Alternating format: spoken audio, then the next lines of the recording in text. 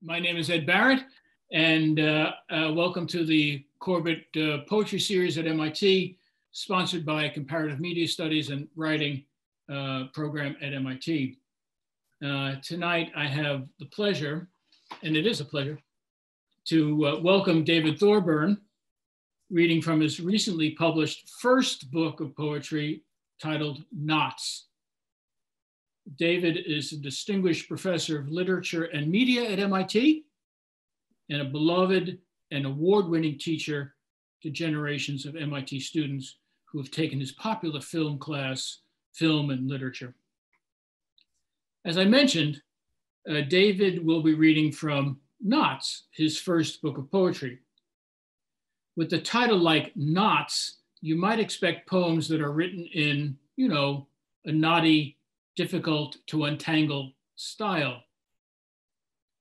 But the poems, at least in my reading of the book, in this book, are written with an open, direct style, embracing family, marriage, sex, sports, history, and now and then a Greek god or the 50s TV character Ralph Kramden.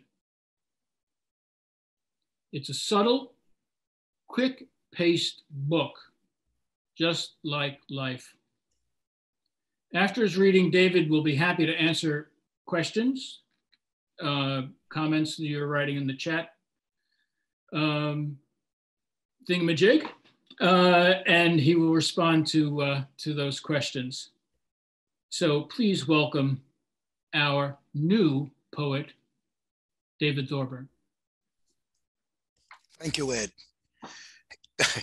uh, I'm very grateful. That was a very generous introduction. And thank you, everyone who's here colleagues, former students, family.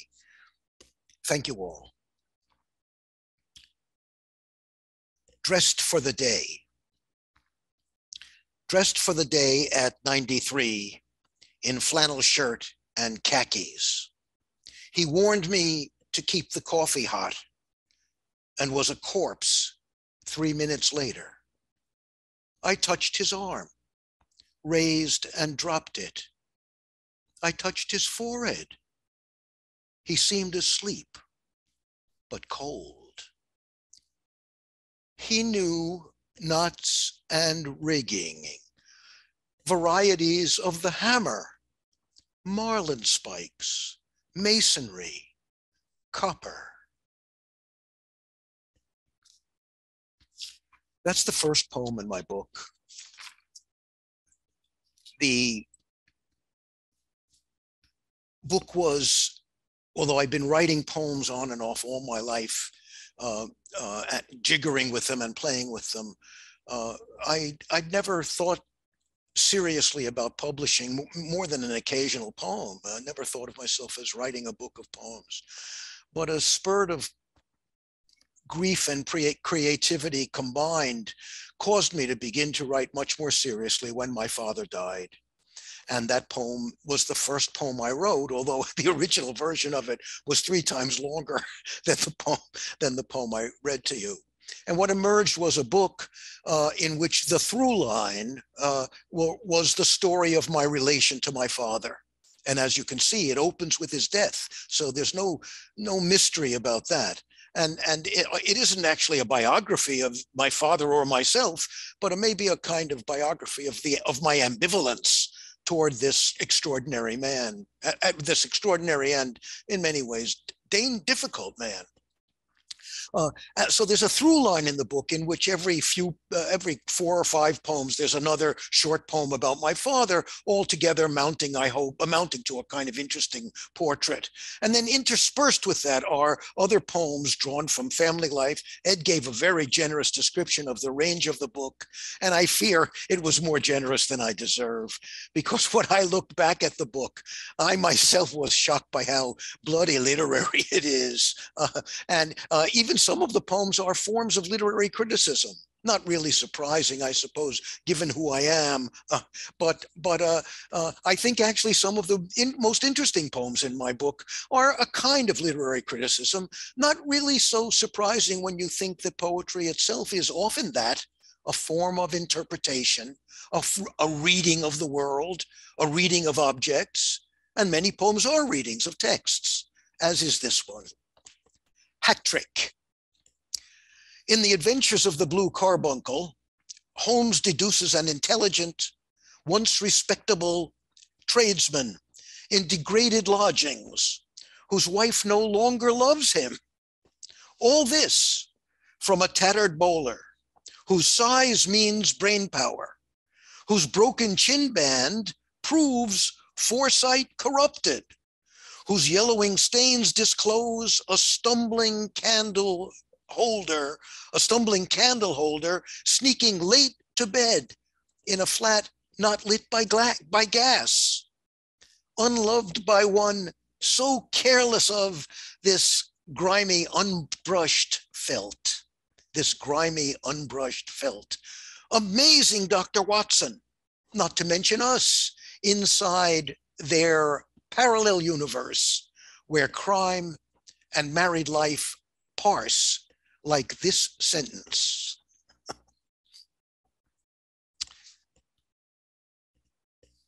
well, one of the things that um,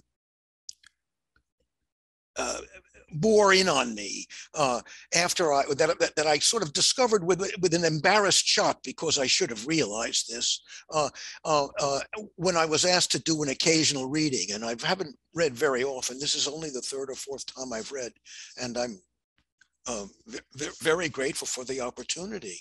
Um, but I, be, I became very conscious of the difference between poems that you speak to an audience, even a virtual audience, uh, um, and poems that you write that are that you imagine are read in the privacy of her own space by a reader who has the book in front of her and and uh, it's a different relationship in a certain way um, and uh, uh, there are complications about it that are that are worth thinking about in any case here's a poem in which it seems to me the spacing of the the arrangement of the poem on the page is part of its meaning and I like the poem so much. I think it's a, a, a, valuable poem. I want to read it anyway, even though I think it needs to be on the page. Uh, but I, I, will try to compensate for that by describing its format. The poem belongs to the category, to the old famous category of poetry called ekphrasis, which is uh, uh, derived from the Greek, and it means it's a description. It means a description of any artwork a description of a painting, especially. And there is a great tradition of poetry about this, as many of you must realize. Uh, and this, in a way, is my contribution to that conversation. Um, uh, but the uh, conversation is complicated by the fact that the full effect of the poem, of my poem, depends on the ending where after the poem is over, there is in italics, right justified, a replication of the legend that's posted about the painting, which I'm describing in the poem, uh, in, uh, uh, at the bottom of the frame. And the poem, in a way, depends on what happens when the reader gets there. So I, I thought of reading this first, but that would spoil the experience of the poem. I just guess it means you should listen extra extra carefully. Uh, because I think, I intend, I suppose, that the reader be driven back to reread. The poem is titled Leaves. Leaves.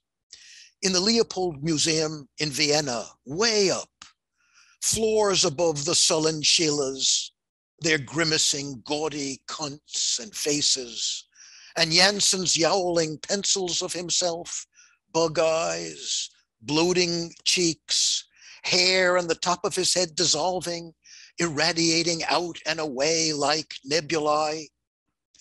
After all these paintings, a winter pastoral so modest you almost pass it by. Hundreds of withered leaves floating in windless air bring dull color to a regiment of slender trees, stalks of white bark, branches, the children, two of them in winter wrappings small against the trees and empty sky, foraging for beech nuts in the snow. Theodor von Hörmann, 1840, 1895. Bauernkinder im winterlichen Buchenwald, 1892. Peasant children in wintry beech forest. Oil on canvas, painted in Dachau, Bavaria.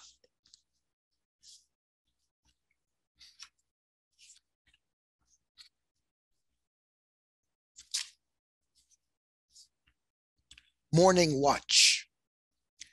Tiger loose on deck.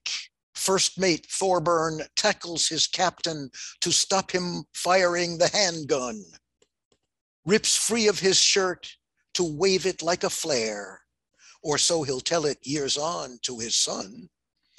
As the creature coils in the early glare and starts her death by water in the fiery air. I remember when I first wrote this poem, I got a kind of thrill, an impulse that maybe you're really a poet when I had the triple rhyme of flare, glare, air.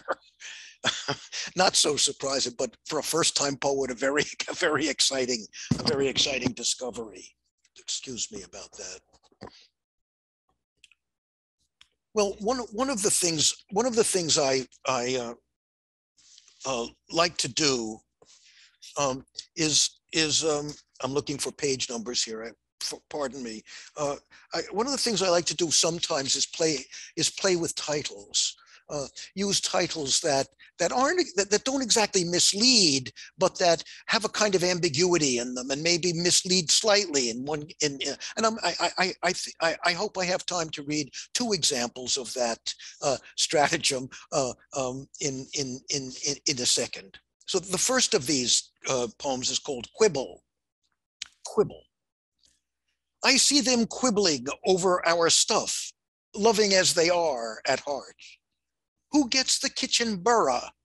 Vampire woman chomping lunch. Who'll want the brass Lincoln bookends? Abe's poor Abe's right arms, casualties of our march to Boston. Which of them will have the message of the Mediterranean bedroom? Hardly scuffed, dear, after 45 years.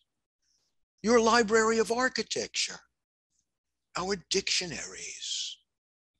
I fear dispersal and dismemberment.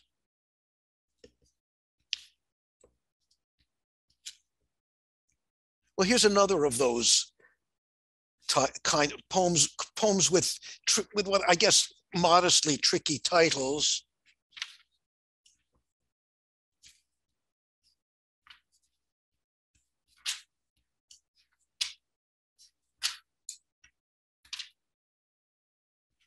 I'm sorry about the page turning. It's bad for me not to. My, my book my bookmarks fell apart a bit. This poem this this poem is called Bridling bridling at the insinuation he's shit to his master, the bridler toys with revenge. Maybe bridling my lord's big chestnut with a virgin bit. She'll spit in rage in half a mile and rub his fucking arse, arsehole off her back against the willow branches in the swamp along the river.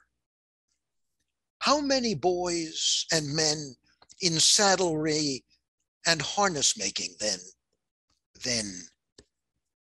He's not primitive, technology deprived, but literate, generous, adept among his world's deep systems of transport, caste, and commerce. He won't bloody the grand creature's tender mouth, lucky for pox nose, and selects a gentler harness hating how she lifts her quivering lips to take the iron in.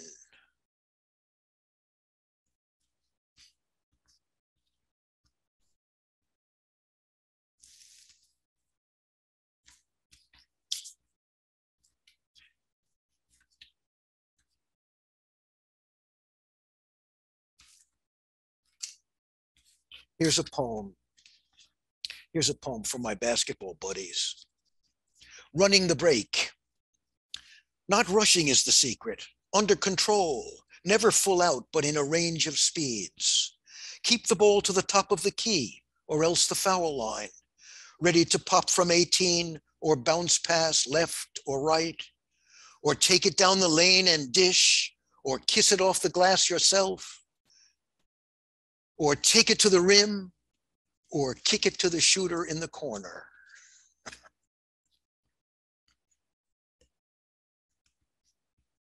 well, I mentioned uh, um, uh, a, a, moment ago that that uh, I was struck when I began to think about the oral presentation of poetry, about how much more vulnerable and intimate you become when you have a real audience and when you're speaking and there are poems in my book that make me very uncomfortable to do that uh, with uh, and uh, but i thought if i mentioned this at all i had to give you an example. So this is one of the poems that that uh, um, and I think I think it it demonstrates why uh, if you think about it as a as a message that I might send to someone sitting reading in her room why that would be an easier message an easier confession about my family's stories to make not to mention more scandalous kinds of confessions that are typical of confessional poetry. I mean, it's a very rich, interesting topic.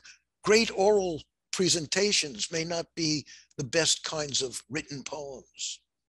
Anyway, here's a poem Cremains. When she came out to you, it's no excuse that you were 90 and Claire no longer there to steer you from your brutal deeps. Weeping, she hears you say you cannot love her anymore. And then that sailor's tale of murdering queers at night this isn't the worst that can be told of you either. I wish it could pour out of me. Your stories of squareheads, calicacs, messinos, the saddle cinch used more than once on me and Andy. But then you're teaching me hand tools, digging, the constellations, the slingshot you carved, mythic gift to your David perfect organic Y of oak. The sling, a rigger's gift, a sculpted tool for killing rabbits and small birds.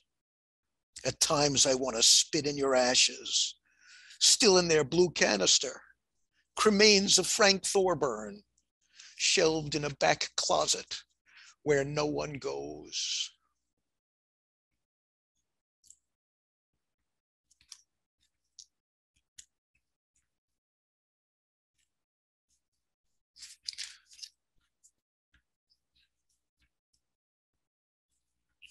sometimes one of the things I discovered as I was began to write really seriously was how much poets need need encouragement and how tender they are when they're given criticism, even when they claim they want it.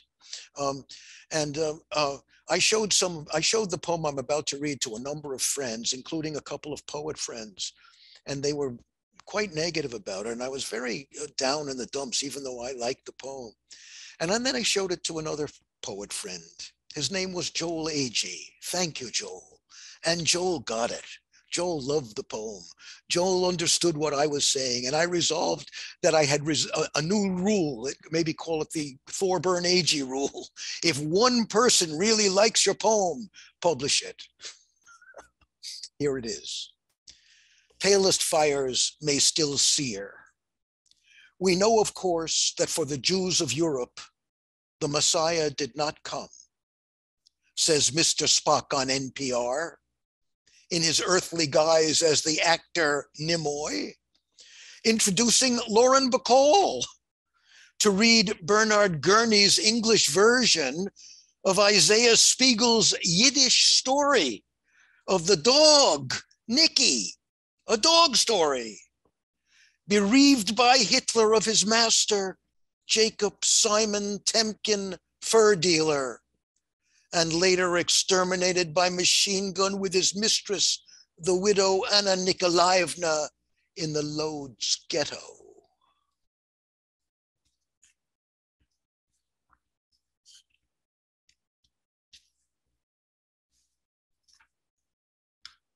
Husbandry.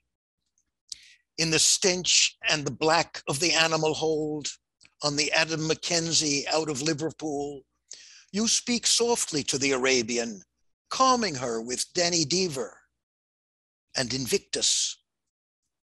Knowing from your parents' farm that horses need human voices, fear confinement, come to harm like children, you will feed her carrots, sugar cubes, Tennyson, every day of the voyage.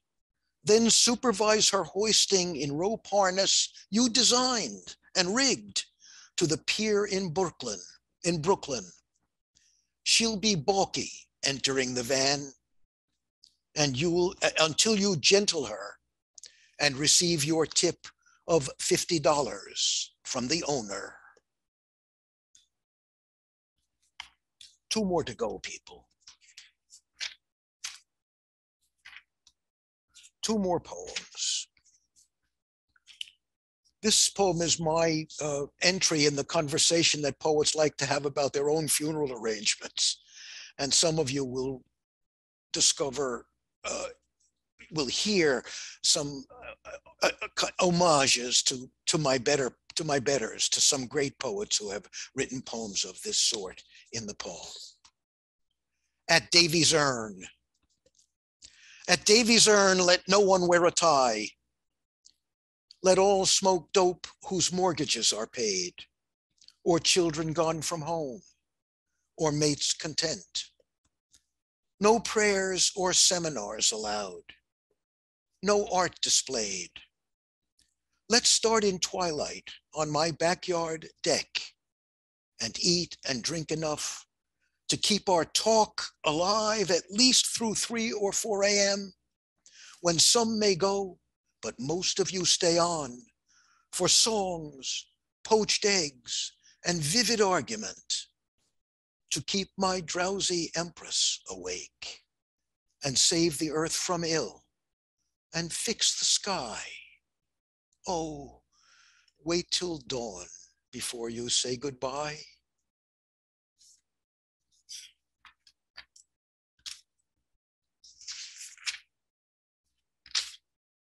Last poem. Dream work. Car repair was not in his repertoire, but here he is, working a ratchet wrench under the hood of my blue station wagon the 68 Ford with a hot spot in the cargo area where the kids would dry their bathing suits after the beach. He turns from the work now, hobbling strangely. My shoes, he says. Where are my shoes? The kids are grown and far away. The shoes are 10 years gone to Goodwill with his decent shirts and the woolen long johns he wore at sea before he came ashore to make me. Thank you very much.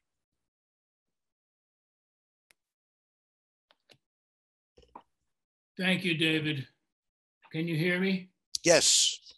Thank you very, very much. Songs and poached eggs on your backyard porch. I think we'd all like to be there this spring. Me too.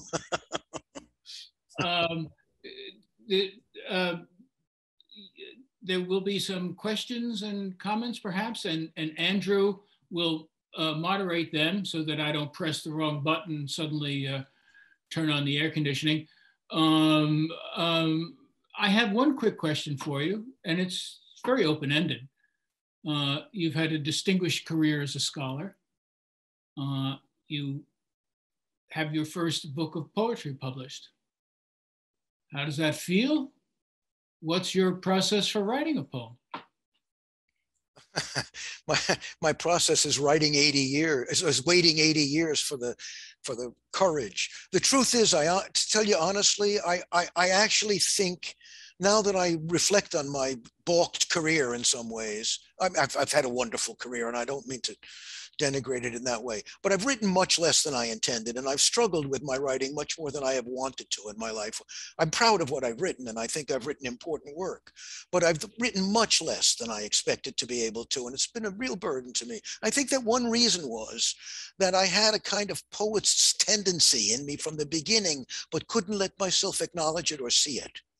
And I, there are a couple of reasons for this. One is te my temperament. I mean, I'm a fuss budget. I'm a, oh, I, I, I, it's, it's almost, it's, it's, I think part of what makes me a very good writing teacher because I can't bear to let even mistakes go by. So I fill my, my students' comments with, with my students' papers with ridiculous grammatical complaints, you know. Uh, so there's, there's a kind of uh, a fuss budget side to me, almost, an obsessive side to me about trying to get things exactly right, which which poetry can allow because you can work on single lines for so long, right? And I would often do this in my essays, and it and it would take a long time, and then I would get into horrible arguments with editors, especially when I began to write popular culture essays about television and forms of popular culture, because the editors I was reading were, how to put this gently, uh, less well read than I would like. So I would I would put in allusions, really famous lines, Shakespearean lines that everyone knows, and they would they would edit them and fix the grammar and things like. I would get in these ridiculous. And I re, and I, I a lot of my career was spent in time defending my prose against editors I thought were Uh, often were much younger than I and much stupider than I. And I realized that that uh, uh, so, so in any case, what I liked was to work on sentences and and para and and I think it also had to do with the attention span, right? But I could but but the other thing, the confession I'm making is this: I went to graduate school. I was surrounded by great poets people who be i mean friend dear friends of mine people i admired and that i shared seminar rooms with two of them became poet laureates. A third i think is a poet at least as good as those two. Uh, uh, it was an environment of such remarkable poetic intensity that i was i was a kind of fringe member of it. Uh, and I was friends with those people, but I think I was, I think they intimidated me without my acknowledging it to myself uh, I can't be sure that that was true, but I, to be honest, that's what I think it was. And I also think, to be really honest, I was able to unlock my ability to write poetry when it was too old to matter. When the com competition was over, it didn't matter. I'm still very grateful that I was able to write these, and I do regret that I didn't uh, take it more, take this quality in me more seriously. I have been writing poems all my life, and some of the poems in here I started many years ago, but most of them are an old man's poems because I became a better writer as I got older. And the final point is, of course, I don't really think in the end that there's such a big difference between my best paragraphs and my best poems. I think I wrote really good prose and I think the, the, the attention I gave to my prose was unusual. I don't think it never happens. I think there are many very great prose writers that I admire tremendously. Um, I can, I'll name two that will offend people. They're both political conservatives or, or, thought to be political conservatives, even though they're not. One is Simon Schama, the historian. I think he's one of the greatest prose writers of English who ever lived. Another prose writer I tremendously admire is Steven Pinker. Uh, now, they're not poets and they don't write with a poet's compression, but I admire them very much.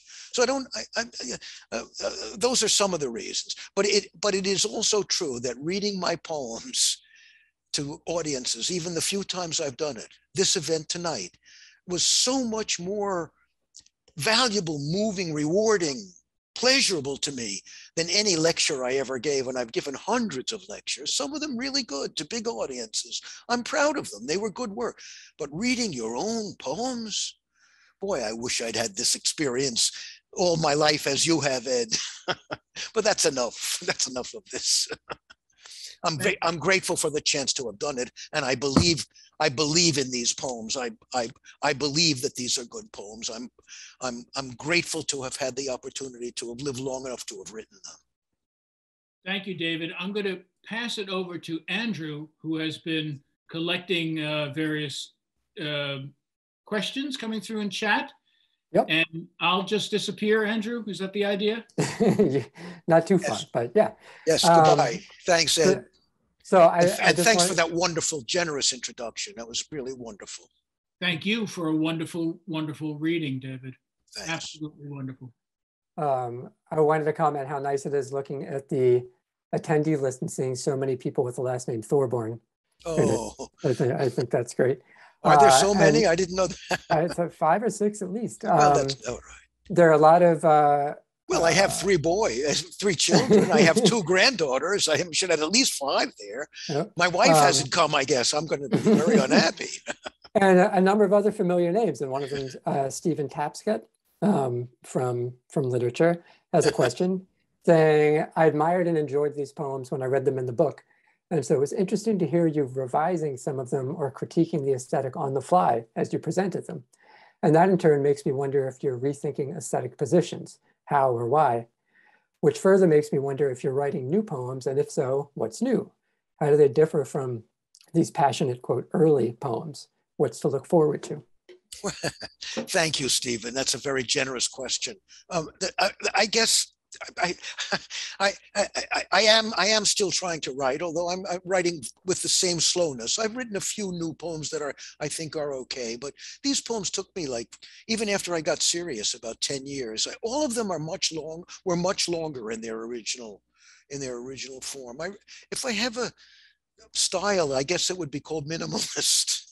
right? I, I once wrote a poem called um, uh, uh, Mission Statement, and I realized it was so bloated that I titled it Nearly Streamlined Mission Statement, and then I wrote a, another another poem called Mission Statement, and essentially the, this was the mission statement: um, Don't lie. Scour scour each line and the spaces between them. Scour each poem. Scour them. Scour each piece of punctuation. Scour again. That's my that's that's my that's my so it, it, takes me a long time but I, I i have especially because there's nothing at stake except my pleasure in the work. Um, i have gotten tremendous pleasure from this kind of whittling away at the poems and making them as short as possible. One thing i've tried to do and i've succeeded in a few poems that i think uh, friends of mine I respect have said it, have, uh, they admire, uh, are their poems without any punctuation at all. They go, uh, sometimes I'll put a period at the end. They're poems without punctuation that are still, uh, and they're, they're, they're perfectly readable, even though they're quite long. I mean, in fact, the first poem I read is an example of that. There is no punctuation in that poem. And that's what I was bragging a little when I said uh, in the last line, like this sentence. The original version was like the sentence, like a sentence, but then I got boastful and I said like this sentence because I was so proud of what the poem had had managed to do. Not a full answer to your question, Steve, but a partial one. So I am still writing. Uh, I don't know if they're changing that much, but I, I did change the poems on the fly because I became aware of the difference between hearing a poem and hear, having it being read to you as against reading it. And I felt that I needed to give, even though I had to violate some of the lineation in order to give a kind of emphasis appropriate to an oral presentation. And if I had thought more about this question, I might have done more of that. I, and I, I, it is not a question I've thought deeply enough about, but it's very interesting to me. Uh, I remember my friend, former colleague and poet Barry Spacks. Many of you may remember him. He used to teach at MIT, and then he went to California, where he had a wonderful career as a poet. Spacks was a magnificent reader of his own poetry, very dramatic. He could put on voices and so on. And I often felt that his poems were much better listened to than read this is a cruel thing to say about a wonderful man who was kind to me and I admired, but I think it was true. Uh, he wrote and he wrote book, wonderful books of poems, many books. But hearing him read was a far more memorable experience than reading his poems by yourself. I guess I hope that's not true of my poems. I don't know. I, I hope I read well.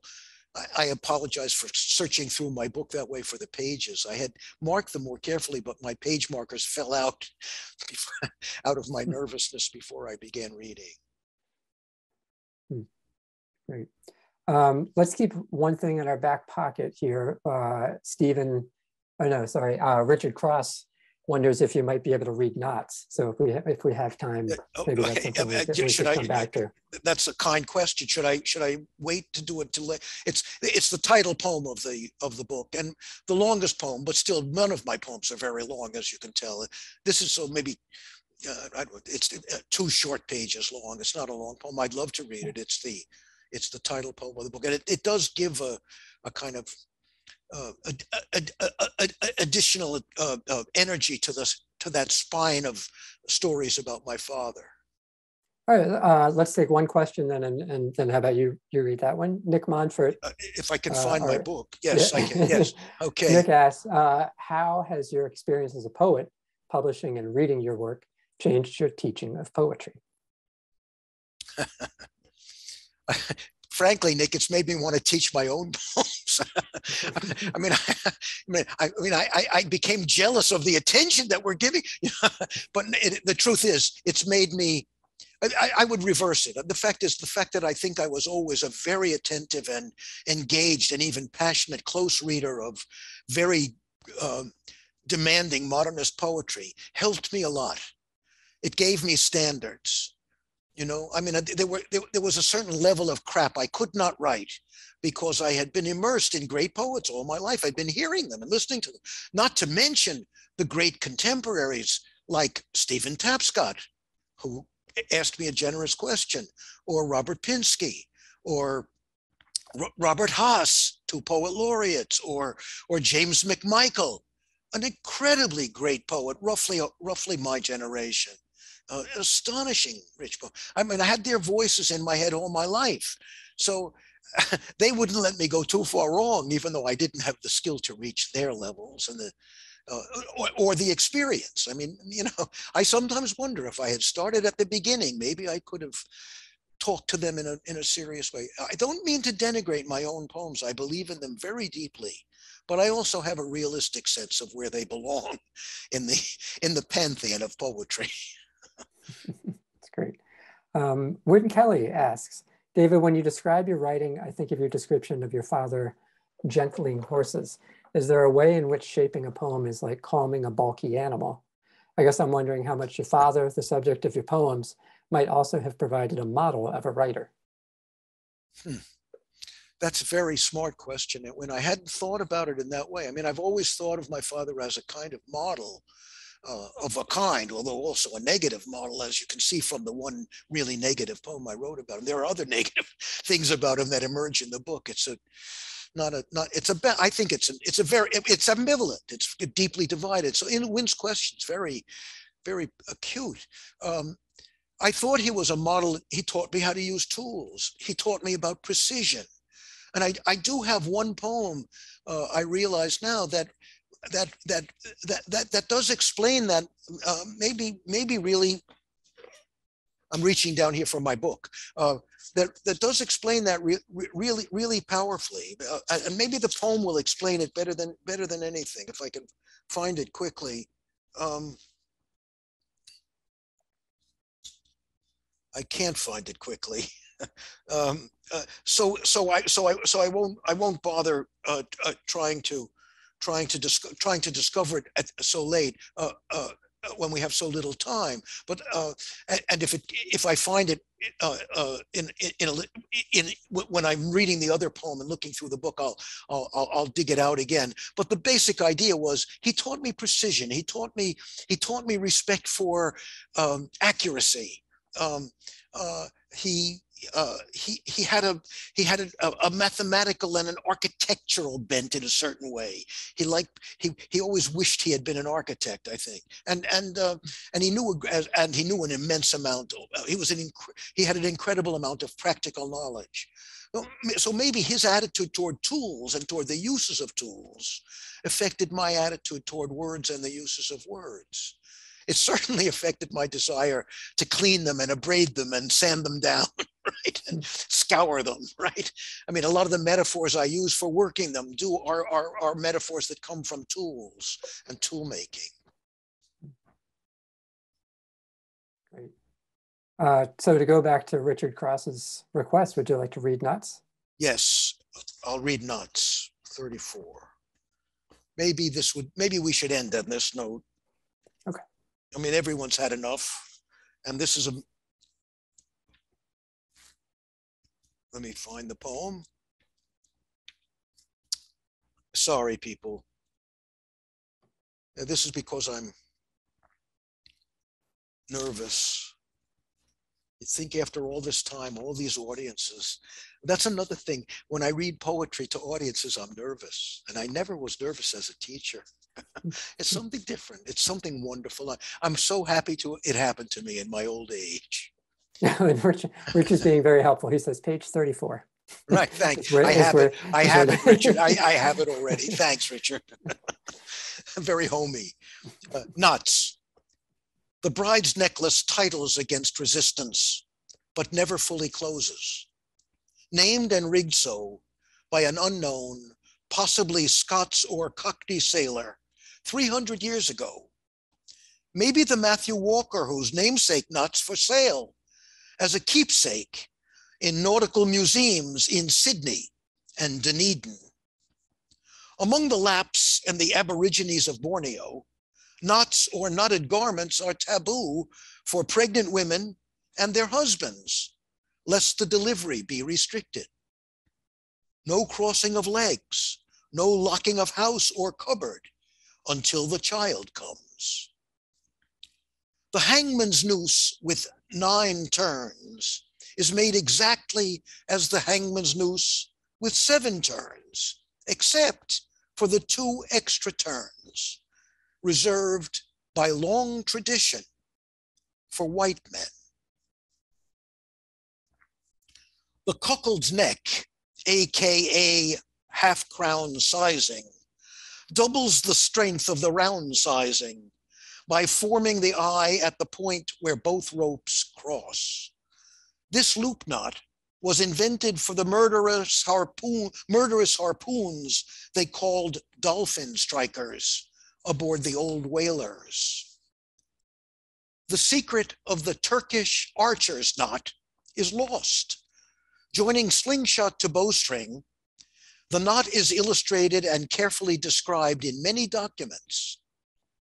But no archer in a thousand years has achieved the killing range, 800 yards, of the ancient bowmen who made this knot sacred to Allah the knot in your belly from bad clams, the one in your chest for angina, the knot in my head and heart when I remember too much. Othello in his frenzy says the heart is a cistern where foul toads knot and gender. The triple hitch has saved many lives, including, said my father once or twice, a drunken Dutchman, lonely for his wife, who pitched fed head first into the forward cargo hold and dangled swinging by his hitched right ankle, laughing and vomiting before they cut him down to hose his mess before the morning watch on the SS California, New York to San Diego, via Havana and the Panama Canal. The knot of Hercules secures the girdle, barring entrance to Vestal Virgin's most sacred parts. Our oldest knot, the square knot, sometimes called the reef knot nowadays, so strong and perfect to its uses, its strength increasing under strain and use, that it was said to be the God's invention and was remembered in erotic rites once widely practiced on patrician wedding nights. The bridal gown, held barely shut by this god's knot, is gently, is gently nibbled open by the groom. Thank you, David. Thank you for sharing your beautiful poems with us, and thank you all for uh, attending and uh, we're off to spring. Thanks again, David. That was wonderful. Thank you very much for all of you for coming.